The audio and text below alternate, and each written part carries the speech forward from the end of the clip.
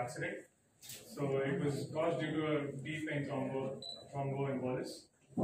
Uh, so I was perfectly healthy before then, but it happened suddenly. And uh, I was hospitalized then for six months. I had been doing my rehabilitation. Two months uh, down the line, I, I developed some severe spasticity in my left upper uh, limbs and lower limbs as well. So it was very, very painful.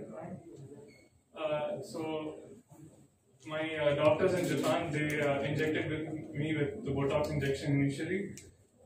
It, it improved somewhat. Mm, the stiffness improved somewhat in my hands, and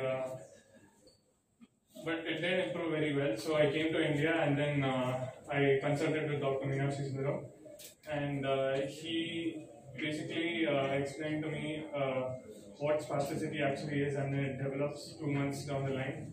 And he gave the brilliant example of the person being tied to the chair and how physiotherapy also helps along with the Botox injection. So he basically injected me with Botox again uh, in the proper places uh, and with the right amount. And uh, after that, I had great improvement in the quality of life. So it, used to be very, very spastic. My arms didn't used to move at all. But now I can move this much and I can, I can sleep without pain. So I, I couldn't even sit or stand without pain. So it has great, greatly really helped me. No medicines or I, I was on muscle, relaxants and painkillers and uh, sleeping tablets, but now I'm not on any of them.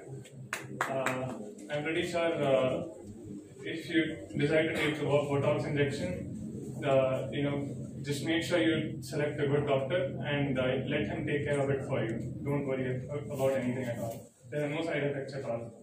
Thank you so much.